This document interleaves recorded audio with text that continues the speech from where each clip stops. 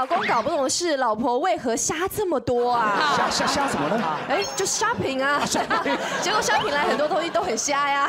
哎呦，我跟你讲，不晓得为什么女人只要一上街啊，是。这个荷包就大失血。我跟你讲，不用上街，网络购物也 OK，对，都可以，真的，偷偷来瞎，根本是把我们全家的空间当成仓库在放，好像是，是不是？所以今天我们就好好来探讨一下，因为很多夫妻中间会争吵，嗯，会有纠纷，就是因为老婆太瞎拼了哈。来，我们今天赶快邀请到呢这一位忍受很久的 豪姐，不是我，我以为忍受很久要介介绍他嘞，你们忍受很久吗？是。还有我们所有的这个苦主爸爸团，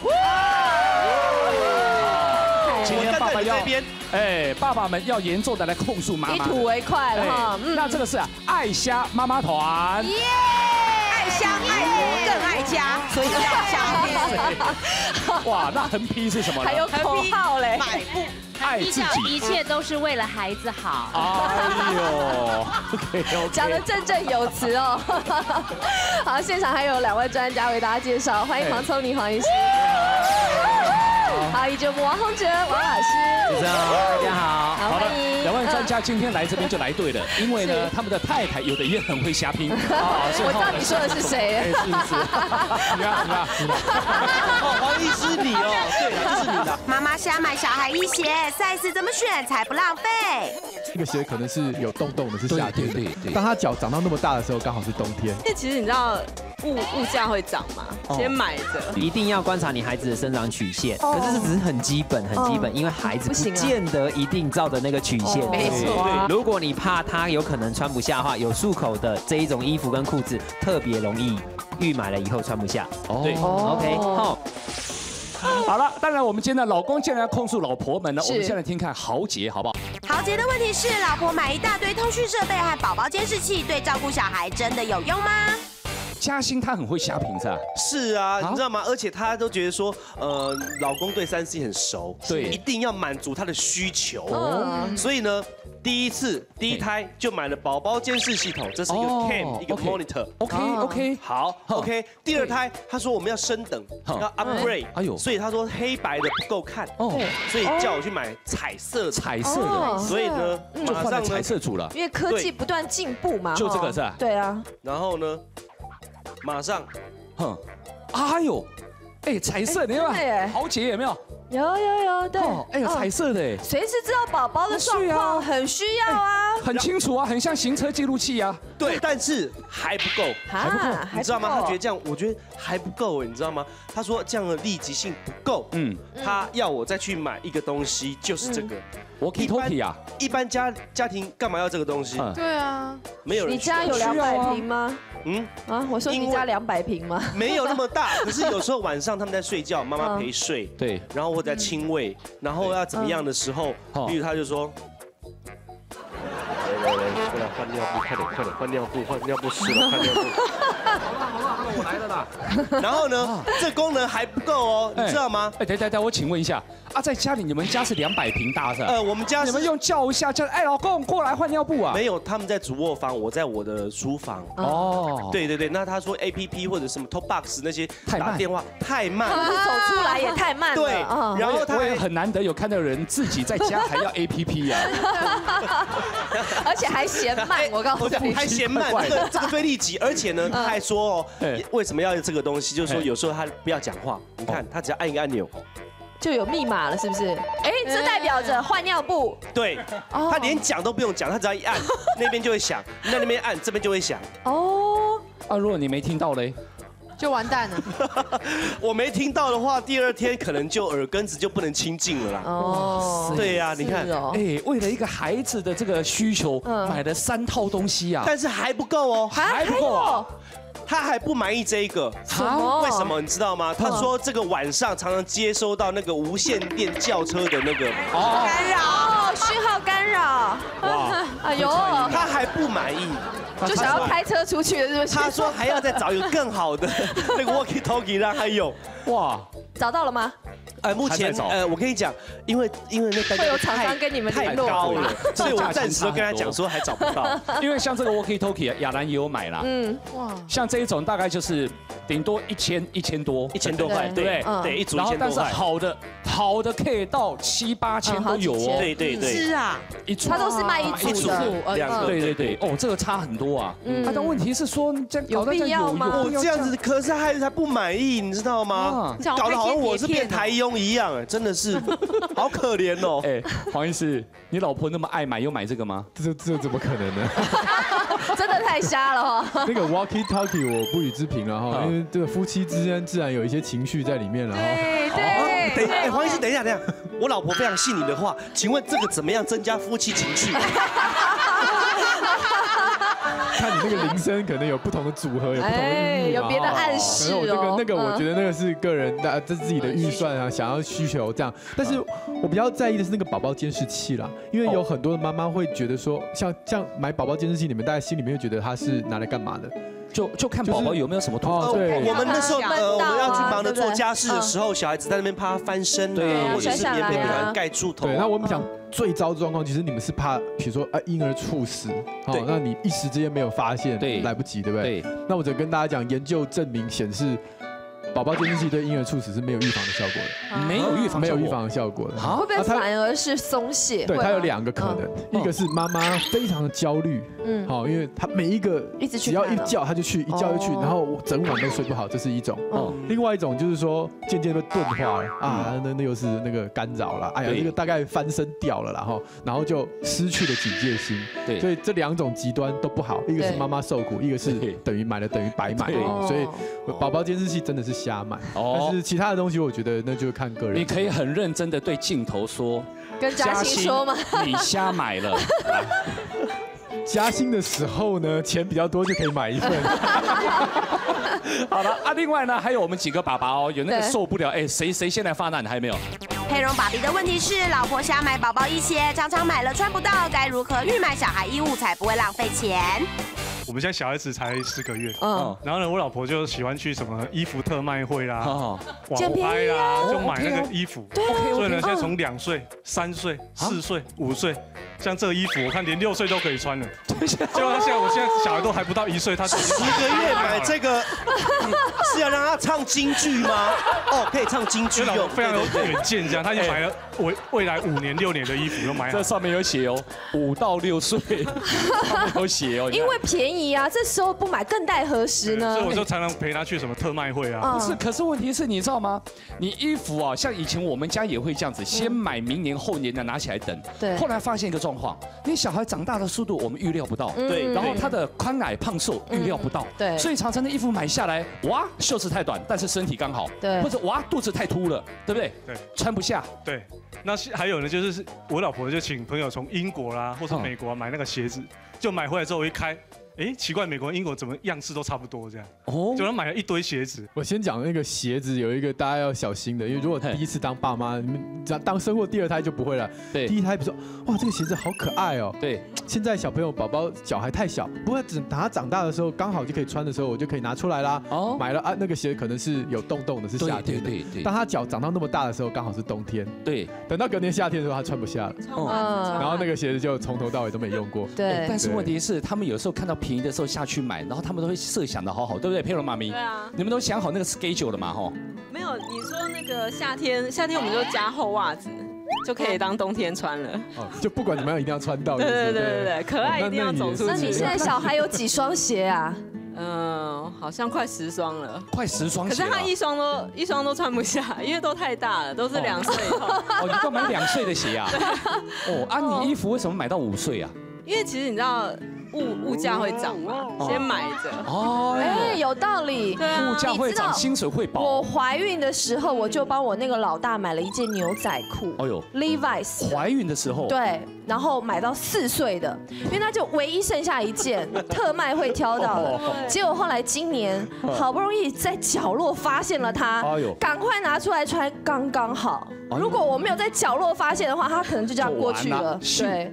真的买太多东西就会有这样的问题，可是就是忍不住，对不对？哎，那是一个什么样的 feel 啊？你们妈妈们，就是对物价会涨啊，特卖会会很多妈妈，然后就说只剩一件啊，这件我刚好可以，然后这个可以，然后鞋子啊，鞋子我这个也可以。所以你看妈妈多好骗呐！衣衣服啊、鞋子啊要注意的事项，第一个叫做基本盘呐，好，一定要观察你孩子的生长曲线，好，他如他有没有沿着十五的那一条曲线走，五十的那一条曲线走等等，然后我们来推算一下，说啊这个东西是不是可以？把一本拿出来看看，对，哦，可是这只是很基本很基本，因为孩子不见得一定照着那个曲线，没错，对对，因为有时候会变得突然变胖，突然变高等等，这个也很难很难去抓哈。那第二个记得要推算一下季节啦，哦，好，不要夏天买到冬天，冬天买到夏天的。那有时候你收礼收那个，因为刚出生的时候收那个礼物啊，然后你就可以看到那个买礼物的有没有生过小朋友，有有没有经验。对，其实很多朋友送礼都会季节会搞错。对，因为他其实没有经验，所以他只是去婴幼婴婴幼儿用品店买一个礼物送给你而已哈。所以这个要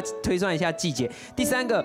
呃，预留的空间顶多多一个阶段。什么叫预留的空间呢？你的孩子如果是七十五公分的，比如说衣服的大小，你最多只买到八十公分的，请你不要去买到八十五、九十等等，那个一定会放很快呢。哎，有些小朋友不一定长得很快，真的。所以这些观念都不一定是正确的。哦，也有也有小朋友停在某一个生长阶段。之前我们是有讲过啊，小朋友的生长有时候是怎么样，停在一个平台的，才会突然又往上，然后再往上，它并不是这样。一直啪啪啪啪这样子上去的，所以你推算的时间真的有可能有错，所以你请你不要往下面呃去找太多的大太多的那些衣物过来哈。那第四个有束口的啦，有弹呃没有弹性的，然后很多扣子的都不预买。束口是什么？束口，譬如说我们的衣服，对不对？啦，袖子束口。对对对，很多小朋友的衣服因为怕风会进去呀，怎么样，会有这个束口的。那也有一些衣服是没有束口的。对，如果你怕它有可能穿不下的话，有束口的这一种衣服跟裤子特别容易预买了以后穿不下。对，OK，好，所以这是一个。那还有扣子呢？有扣子越多越容易不合身。哦，这样子哦。对，所以你在挑的时候要注意这几个。那第五个，儿童的鞋子一定不可以预买。嗯，为什么呢？因为鞋子有可能会变质。哦，对，放太久是会变质，而且那个胶什么的，对不对？对，嘿，它必须它必须是鞋底必须是粘的，或者说是怎么样的那个，再好的鞋子它都可能会变质，所以一双鞋子的寿命绝对不会超过一年半。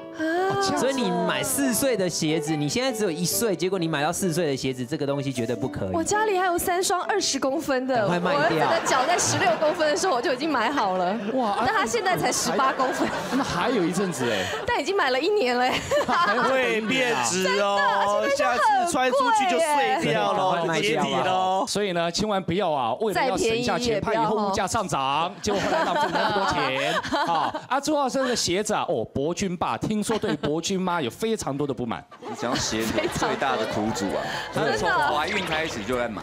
哦，怀孕就在买，就买小孩的鞋了哈。那现在小孩子呢？他有专属的鞋柜。哇，对，等一下，小王子哎，等一下，啊怎么样？这里面还有两双是维尼妈送我的感恩牌，好吗？又不是全部都新的。最近刚搬家，还有很多哦，还没拿出来，还没拆封哦。那这里面的鞋子都符合现在小孩年纪穿的吗？还是？其实有一些应该都穿不下了。哦，穿不下了。哦，穿不下为什么不丢掉或是送人呢？舍不得。第二胎呀，哦，留着 第二胎呀。那你现在怀孕了吗？没有啦，你怎么这样？留起来等就对了。对啊，博君妈她在买鞋都是什么时候下手买的？通常可能周年庆的时候。哦，那个是最疯狂。嗯，他们除了每次都讲说特卖会之外，每次听到满千送百。哦，对，可是。一定要凑的啊！没有没有，是不是？可是那是有玄机的哦，满千送百是你要满五千才有办法送送五百。对，不是说真的满一千就送一百。这是聪明的消费方式啊！满五千小孩的这样的礼券家里有一堆。可是他通常都忘记了使用期限都过期，真的吗？过期了，你看期限什么时候？福尔摩斯哦，在两个礼拜前。而且五千的那些东西到现在有用到过吗？有有有吗？我有用到，有啊，推车不就是其中一个？是推车啊，其他的都还在地下室。好啦，你，我有问题，我有问题。好来，这像这双鞋，那时候我们有稍微买大大了，大概也是大概两公分。对。然后那个专柜小姐是说帮我们加这一种鞋垫进去，这样子是 OK 的吗？这个就要请王老师来说了。王老师，所以我说卖鞋子的人都很讨厌我。好，绝对不可以。绝对不可以，绝对不可以。哦，好，第一个，孩子把鞋垫加进去了哈，虽然它的大小已经符合了，可是它脚呢的压力呢，在里面的垫子并不是全垫，所以它还是会摇摇晃晃的，在里面还是很不稳的一个状态。嗯，然后，呃，正常的足压它会正常的发展，结果因为一个垫子呢前面没有垫到，结果整个身体的重量又移到前足去。对，对他整个发脚的那个发展会很不好。如果你垫在后面，这个孩子长大之后就是容易垫脚尖。哦，就是这样子。是哦。对，那如果你加一个全垫可以吗？加全垫就比较适合。对，所以。所以这个不要是半垫，而且加的鞋垫不可以是非常非常软的材质，所以可以摸摸看。如如果哦，你看那个应该像个纸一样，可以就这样子就已经对。为什么不可以的？来，呃，鞋儿童的鞋子的那个底啊，如果太软的话，对他整个的脊椎发展是不好的。哦，对，所以儿童在选鞋的时候，我们之前有讲过，学步鞋跟学走鞋是两种不同的观念。十个。月到一岁，或者是一岁一个月、一岁两个月，如果你的孩子只是在站的那个阶段而已，或者是轻轻的跨出去一步的时候，那个叫做学走鞋。嗯，好，那叫学走鞋，它的足底可以是软的，甚至你穿那一种鞋子，只是帮你的孩子修饰用啊，然后御寒呐等等，反正他偶尔踩在地板上，哦，那个没有关系，鞋底是软的。当你的孩子已经开始在噔噔噔噔噔噔噔到处乱跑的时候，如果他的鞋底还是那一开始的学。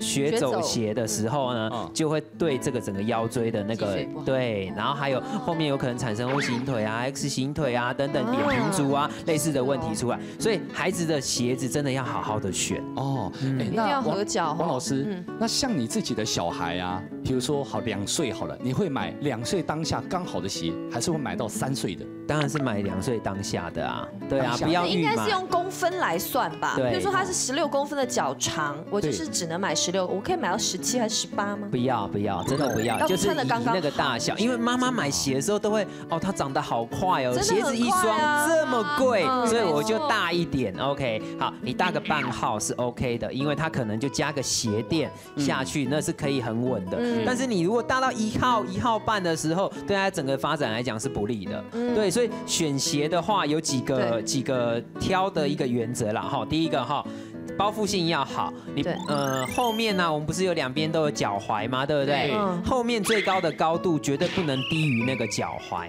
小朋友的鞋子，他的鞋子可以用来做一个。不能低于脚踝。对，就是孩子的脚整个把它放进去以后，它的两个那个突出突出去的骨突的地方呢，对，这骨突的地方不可以比这个这个还低。就是，也就是你凸出来，对对，文华指的那个地方，双边不可以露出来。哦，这是第一个原则。不可以露出来。对，不可以，不可以，不可以露出来。是哦。对，嘿，好，鞋子的侧面哈，它是不可以，骨突是在这个的外面的。第二个，鞋底不可以太软或太。滑太滑也是个问题。我前一阵子才帮小朋友去选鞋，结果每一个 sales 都跟我讲说不会不会，这个很 OK，这个一定不会滑。然后然后我就拿起来，然后在百货公司的地板上面，等等好滑哦。嗯，对，为了要卖出去，对，都不会滑不会滑。可是我跟我太太两个人就好滑，就不要了。所以买的时候就自己这样试试看。对对对对，因为连你这样子轻轻的都他都很容易去滑动的话，那何况是孩子？对，像我儿子买那个运动鞋，你会。觉得那个品牌哦，你知道那个品牌，你会觉得它已经是运动鞋，应该 OK。可是有一天下雨，我们走出门要走去坐车，就他一路上就这样滑了三次。好在我都有握着他，他就是走一走就滑。然后我说你怎么不好好走？然后拉着他，没想到又走两步又滑。所以那就是鞋子的问题。对，那鞋底要不要太？鞋底会不会太软或太硬？很很好检检查。请你跟我这样过。这个鞋子的后半，如果可以像这一双鞋子一样这样折起来的，这就叫太软哦，这样太软了。这个就是太软的鞋子，它才有可能会是这样。当你的孩子要邦邦邦邦很可爱的去走路的时候，后面的这个地方应该不可以是很容易足底会被凹下去的哦。对，那前面也有挑的一个原则，前面反而是在这个背部的时候是要软的，因为它要怎么样？要这样推进，嗯，要这样推进，所以在这一个前面的前足的这个前三分之一的地方是要软的。哦，如果这个地方做的是硬邦邦的，你教孩子怎么做？走出去，减走出去的这样。哦，了解。第五个楦头的宽度要合宜。什么叫楦头呢？也就是你前面最宽的这个地方。对，前面最宽的这个地方，呃，如果孩子穿上去走走走走走走五分钟，你脱下来的时候，它这个地方是红红的，这一双鞋就不适合它。因为每一个鞋子它的鞋型都不一样。了解。好，好，这样我们就懂了哈。来，再来下一位爸爸是小可爸比的问题是：老婆狂购尿布疹药膏，真的有需要买这么多吗？像我们家小我们小可，他出生在。出生到三岁，他都有所谓的尿布疹。嗯，那尿布疹，他就开始去查一些知识或者网络，也开始看，哎，尿布怎样擦什么药膏，甚至去问医师，甚至啊，他就去问朋友，哎，买什么样的药膏？对，后来买了一堆的药膏，最后放到过期。啊？为什么会放到过期呢？他觉得说，啊，一个嘛。这样，因为我们想预算就是生两个小朋友，对，这样第一个已经生了嘛，那我们就一次买多一点，下一个可以继续用。可是没想到我第二个比较没有什么尿布的，都没用到，都没有用到。对，这个都是我，就这一个部分，因为其他都有丢光了。而且这么这么大一条哎，这还是从 这两条都还满满的哎，满满的，这只是大人都用不完，你还小孩这么小屁屁，小屁屁根本用不了多少。所以这还是最近过年的时候打扫除的时候才找出来，其他早就被我丢光了。所以我。想问一下医师，就是说，在这些尿布疹，我们小朋友尿布疹啊，这药膏擦的真的有效吗？还是说自然就会好，对不对？对对对对对对啊！来，黄医师，很多人都觉得尿布疹是一种疾病，其实尿布疹有很多很多不同的状况。嗯嗯。那我实在没有办法一个一个讲，所以我就画了一个屁股给大家看哈。哦，夕阳梨。对。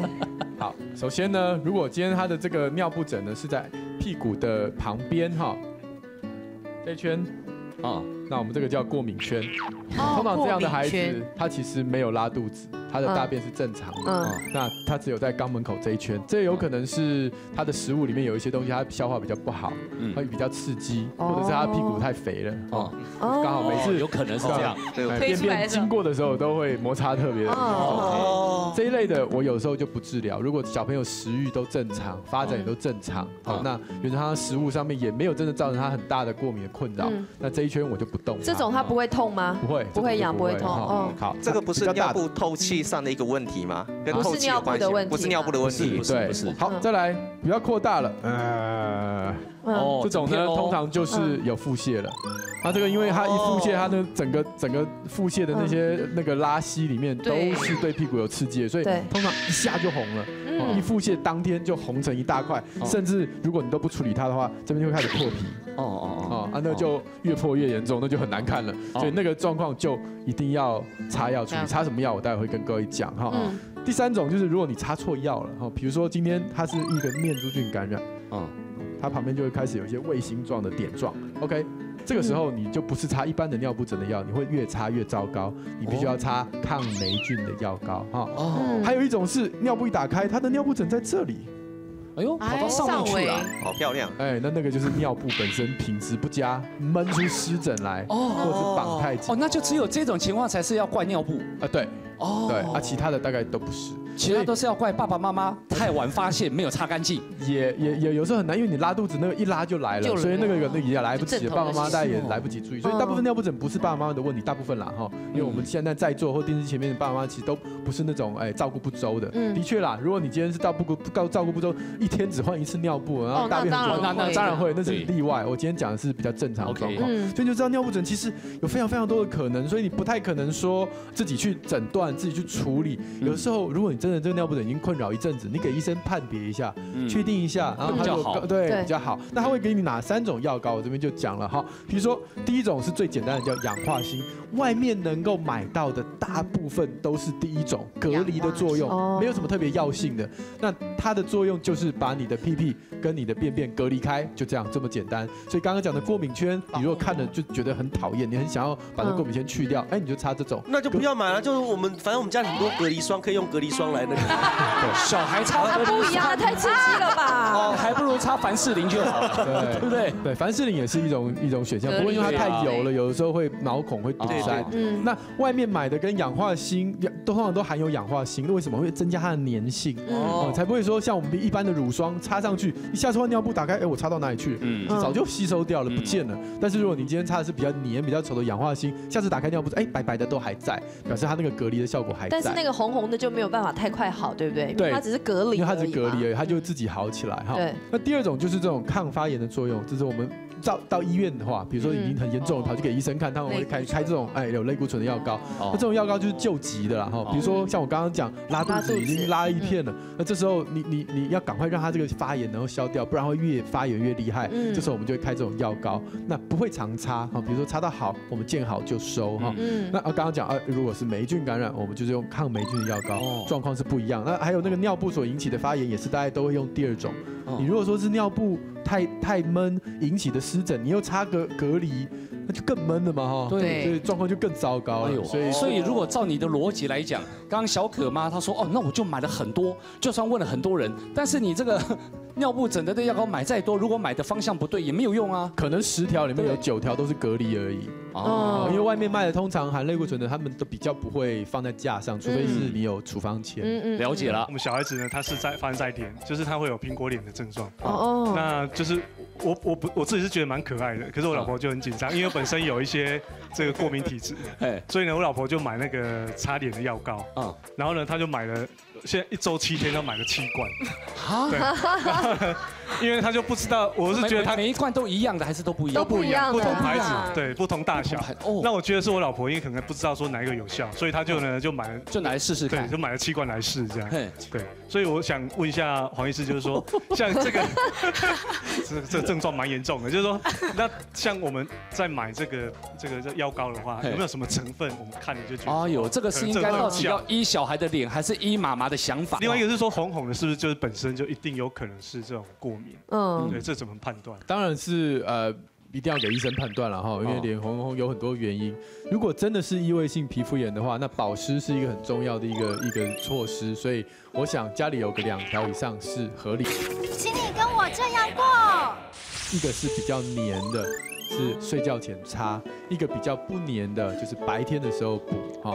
那有一好没有两好。如果你今天是比较不黏的，它可能比如说两小时、一小时，它其实就没了。你再摸又又干了，所以你知道就要一直补哈。嗯。那晚那可是你如果白天给他擦那个很油的，那小孩就一直好像不舒服啊，对对，或者是他就不会讲话，他就一直揉一直揉，想把那揉掉，因为会觉得很闷。嗯。有的时候又会长痘痘，因为白天活动量大，有的时候毛孔堵塞又会长痘痘，所以只好呢就是有两种选项。但是这两种选项，我想最重要就是没有香料了，然后这是我们一贯的做，就是最好是闻起来没有香味的，比较少会有这些刺激的物质在里面哈，那才不会制造第二、第三、第四个麻烦。是。还有呢？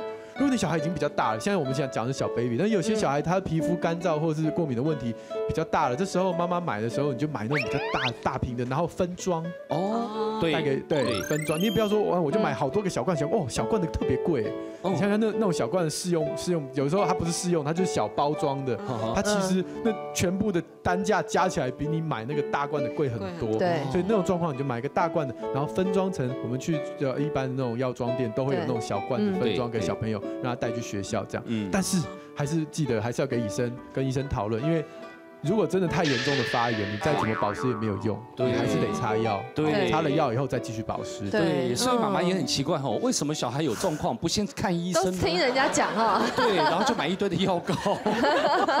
好了，下一位是。博君爸比的问题是：博君妈狂买各种奶瓶嘴头，真的有必要用这么多种吗？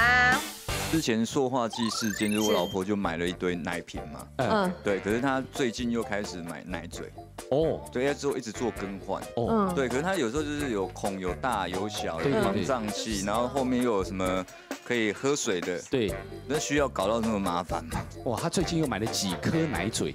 大概没有，不是啦，因为很多不是，因为它这个奶嘴头有分 size，有分 S、M、L，对。对，那你因为小朋友一直长大，你必须要换嘛，嗯，那因为他最近开始，我想要给他练习喝水，所以用这个我超认同他。哦，真的，谢谢。我以前也是不停的很爱换这个奶瓶的奶嘴头，因为有各种材质，对，比如说有那种安抚型的，或或者什么细胶型的，有各种不同的那种各种不同的作用跟材质，或者是在喝什么什么餐都不一样。对啊，而且一天到晚都在买奶瓶买奶嘴，就是一种虾瓶的乐趣。哎，你自己都说了，是不是为了孩子好，是为了孩子好。对啦，然后因为现在他准备要让他学喝水，所以就又换这种鸭嘴头。哦，了解。对，然后之前就是看书，他有说最好这个奶嘴头呢，大概三个月要汰换一次。哦，对啊，这也是卫生卫生上的顾虑啊，这不是瞎买。也是有研究啦，有做功课才去买的，是这样。对啊，不是乱买。那我们就来印证对不对？好，来黄医师，我想先不要一次就把每个阶段都买齐，跟买鞋一样，就是到什么阶段你觉得遇上阻碍，你想要给他换一个新的，你再买。那至于卫生的问题的话，我觉得三个月也许是 OK 啦哈，因为这个，但是其实细胶不太会变质啦。我我老实讲，细胶变质应该不会那么容易。至于那个孔洞的大小，我必须跟大家讲，像我自己的两个小孩，全部都是一个洞用到尾。为什么？因为我不后面就不需要啦。很多人换大洞是因为在米那个奶里面加米精啊啊！我一直都讲这个没有用嘛，你不需要奶里面加米精，你米精另外喂嘛，所以他永远都只需要喝液体，而液体那个小圆洞就够了。是不是有一种奶酒？他说还可以什么？对，防胀气，对不对？对啊，你也有买是吧？有，我这个它就是防胀气的哦。对，我不晓得是真的有防还是防安心的。这这个防胀气都不 OK 啊？有吗？我觉得防胀气大概都是防安心的啦。然后我想，身为如果是爸爸，你们稍微研究一下那奶瓶的构造，你们大概就会了解了。我们就一般喝奶的时候是底下是奶，对不对？对，上面是空气。对，所以宝宝吸的这个里面，它吸进去都是纯的液体嘛。对，怎么会有空气呢？好，再来第二，这个空气哪里来？你说妈妈有有啊，那泡泡一直冒啊，就是因为宝宝把奶吸掉了，所以呢，在这个底下呢就会有一些气孔把空气带进来。哦，所以真正的一个好的奶瓶嘴是这个洞设计的好，因为这个洞很容易堵塞。哦，用久了以后，你们自己哦，如果用宝宝用了一两个月，你自己哦，把那个奶瓶装点水，自己吸看看。有的时候这个已经塞住了，哦，好难吸哦。里面那个洞就是我们小时候那个芦喝芦笋汁要打两个洞的意思对对，就是这是一个通气孔，所以有些奶瓶会很很好心的给你一个一根针，有没有？不是针了，就是一个打洞器，说啊，如果塞住的时候你就通一吐一吐。很多妈妈都吐这个洞。啊，对呀，不是，搞错了，我们都以为是通那个。当然不是啊，一直都已经上小学了，我才知道原来是通旁边，通这边啊。因为我买的时候店员不会讲啊。对，你仔细看一下那个细胶的底下就有一个洞，你把它塞塞通一通通一通。所以宝宝喝了奶，肚子很胀，空气是哪里来的？是他自己吞的。嗯。比如说今天这个奶瓶实在太难吸了，吸吸吸的，嘴巴会打开哦，就吞了三四口空气进去了。哦，所以跟奶嘴无关。对，所以跟你这个奶奶嘴，你要换什么防胀气其实都没有意义。其实宝宝如果喝的顺，他吞空气少就 OK。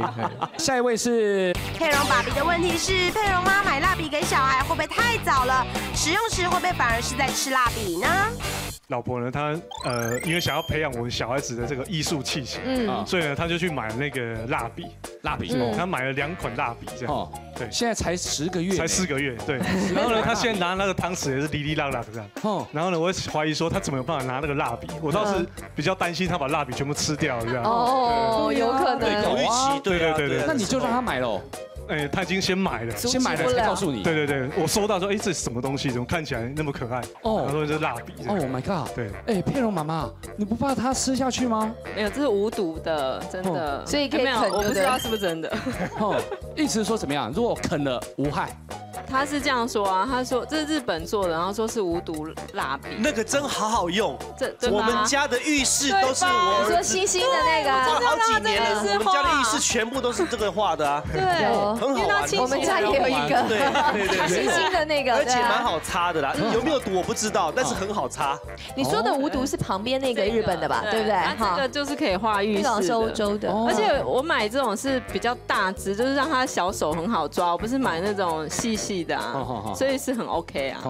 好，这像现在买会不会太早了？或者说这个到底有没有用？涂鸦这件事情啊，应该来回到涂鸦这个儿童发展上面去。大家认为儿童开始涂鸦会画画的时间大概是多长？多早？涂鸦啊，大概也要一岁半两岁。对啊，差不多吧。一岁耶。啊，所以没你看妈妈跟爸爸的期待就不太一样。一岁太早了。其实大概是一岁半到两岁。而且我觉得他都会把它折断或怎么样破坏吧，根本不会拿。所以那个东西在孩子在一岁以内来讲的话，它根本不是一个涂鸦的工具，它是一个拿来啃的玩具。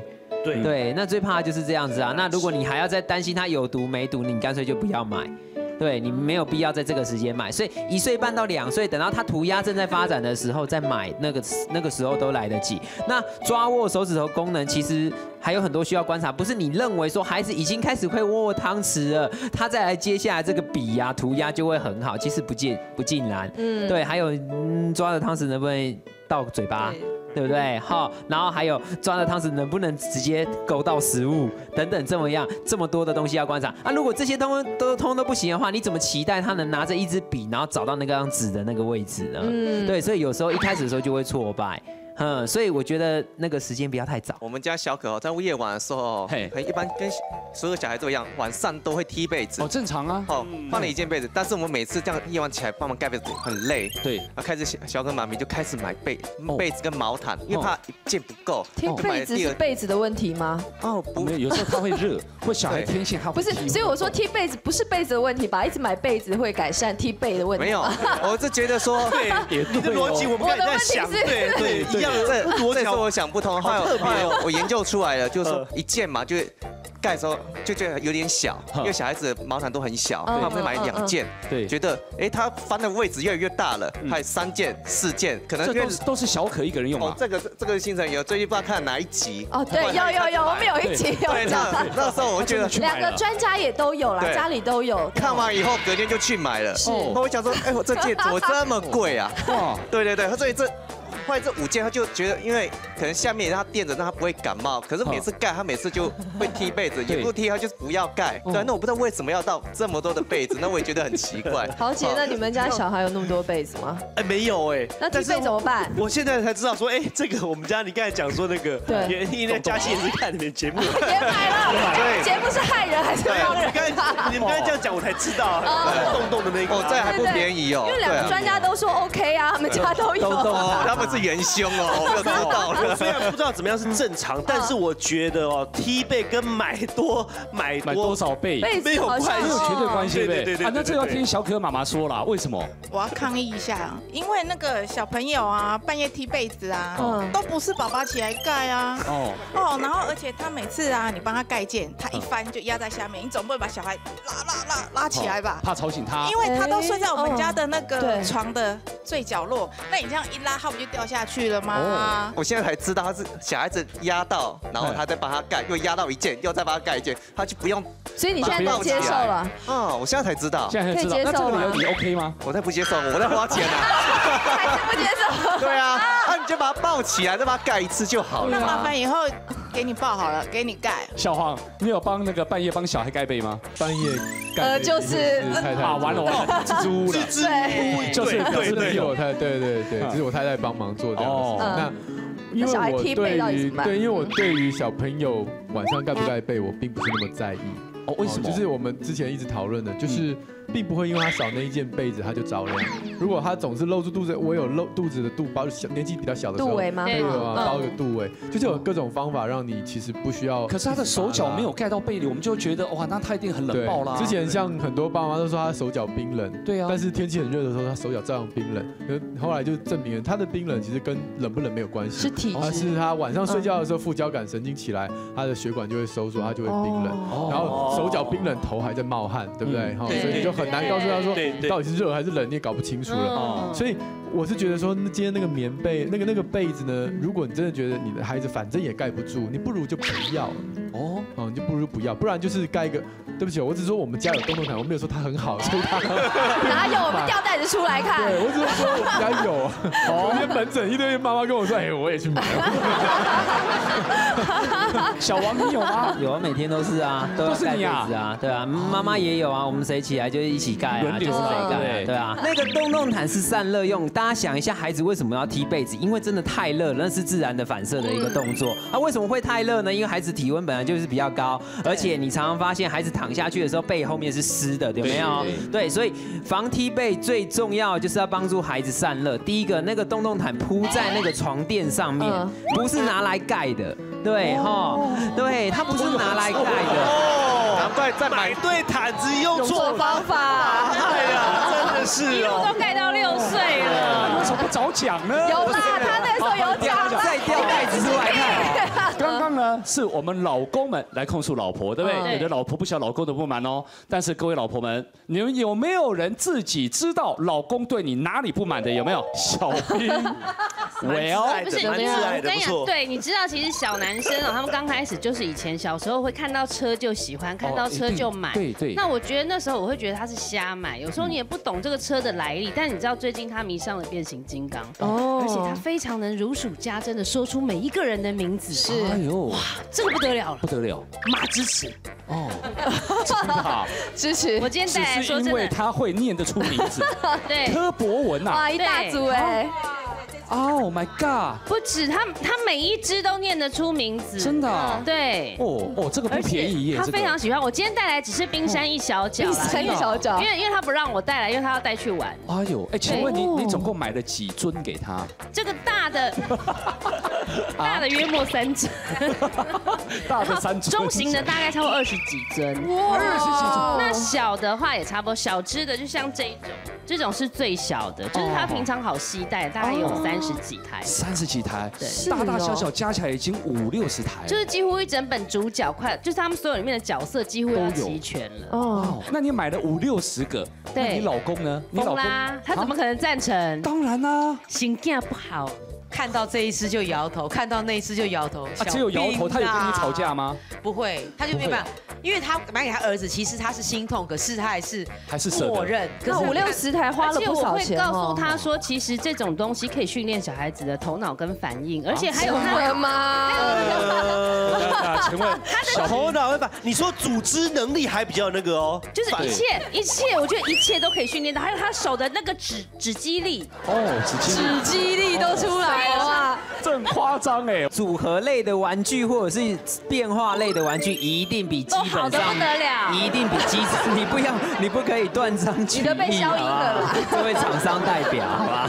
对，一定比那个基本上面那个一般的车车要来得好。嗯，我我一直讲说，我们很反对小男生有一堆的车车，但是他都没有变化性。嗯，对。那出现了一个什么？出现一个有变化的车车。对，那所以我觉得不要一直买啦。对。不同类型，不同类型的。老公，王老师说好。我们来问一下现场的爸爸啦，好不好？这个或是呃老婆哈，有没有因为老婆宠小孩很爱买，然后会吵架不愉快的？请举牌。有没有老公举牌来？老公有，像我我老婆也是很爱瞎买车。你有啊？我刚才那边摇头哎。她很喜欢瞎买车子和宠小孩。那小孩喜欢那时候喜欢那个 Cars 这个电影的，嗯，只要每一部里里面出现的车，他都去他都买了。对对，只要小孩一吵就去买给他，对不对？妈呀！我你妈，你买这么多这个 Cars，呀，你你你是什么心态？我的心态就跟小冰姐一样，就是爱孩子，为了孩子好。你们自己在收集吧。他什么好呢？就是比方，因为现在丢西给啊，就是说，哦，走 走在流行尖端，总不能走出去说朋友在讲什么他听不懂哦。对，那你要知道说，哦，这是 cars，这是什么，然后这个主角是怎么样啊？还有一个货柜车可以停车这样子。哦，那那可是那个看卡通你就知道啦。可是卡通只有一次，我们要回味啊，没有办法触摸到啊。对，我们要在家里自己在玩呢。那好像都是在满足妈妈。对啦，好啦，如果真的已经买了的时候，怎玩的有意义？对，最有意义的就是爸爸，你让他买没关系，你你们去疯狂的买，你陪孩子玩，怎么玩呢？角色扮演，它里面都是有一个角色的，来吧，每天陪着孩子做演戏，如果妈妈不累的话，就尽量买，好，就是这样，很累，真的，对啊，所以很累。这一招可以让孩子融入的好方法啊！啊，那那个博君爸，就是我们家地下室。哇，这么香的，是不是？这么乱，你好意思照出来给人家看？地下室大概有十来平，嗯，都是博君的东西有三分之一是博君的，一小部分而已，三分之一，三分之一啊，对，这么多啊。都还没拆封的。对，啊另外三分之一是你的衣服。OK。哦，没有啦，有些是感恩牌，人家送的，也不是全部都我买的。哦。那每次都讲说他心情不好，然后跟朋友出去。哦。对，那出去玩大概要回来前一个小时就打给我，来载我好了。因为东西太多了。东西太多。王老师，那这购买小孩的用品哦，应该怎么克制啊？好，来我们看一下儿童用品，要买的时候要停看听响。不想看，不想看，真的要停看听响。先老婆看这个，爸爸们把它照回去。来，第一个哈，听听看使用过的人的正反意见。嗯。第二个，不要觉得越贵越好，因为儿童的用品真的很多商人会抓好那个妈妈的那个心态。对。那第三个，要知道孩子的心智年龄长得很快，你不要一直补充某一样固定的东西，他如果到了下一个年龄已经不适用了，他一下子不喜欢这个玩具了，有可能。好，第四个，用数字提醒自己，怎么用数字呢？这一类的东西我已经有几个了。当你要买的时候，看一下那个数字，哇，好惊人哦，搞不好就会三思。对对对，像刚刚那个车车有多少台？有多少台？二十几台哎。把它写出来，对，把那个数字写出来，放在你家的冰箱，他每天要煮菜的时候就会看到二十台。哎哦，距离三十台还差十台。预设目标，好了，所以呢，所有的妈妈们，当然不见得只有妈妈了哈，很多爸爸也很宠小孩买很多东西，对啊，对。但在下手之前，三思而后行，想想这东西真的需要吗？真的有需要买到那么久以后吗？对，对，到时候会不会变成你的节省，因为变成浪费了？嗯，对，的确，大家还是要这个先想过再买啦，再下手哦。好，谢谢所有来宾，谢谢，谢谢。好，下一回时间去锁定，请你跟我这样过，拜拜。